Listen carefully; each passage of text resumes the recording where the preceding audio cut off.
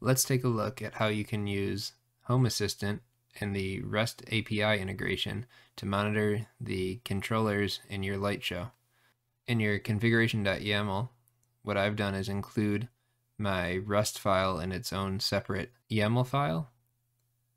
And then we can take a look at the rest.yaml file and you'll see that there's one section for each controller that I have, pulling all the sensor and status data from the controller.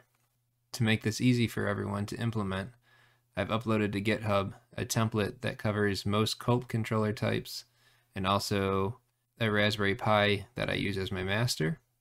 And you can take any of these controllers that you have and you'll be able to copy the section related to your controller, put it into your Home Assistant configuration, and you only need to update the IP address. The main difference between most of these controllers is the amount of temperature and voltage sensors they have, so you have other controllers, you may need to adjust that as well.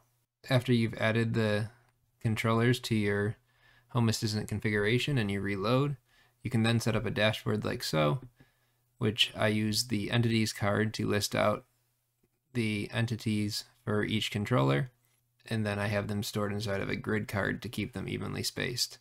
From here, I'm able to check on the Wi-Fi signal, the status of my controllers, any voltages, the temperatures in the controller boxes, and ensure everything is running as I expect. Also with these entities, you have the ability to set up any kind of automation to alert you if something is out of the expected range that you want.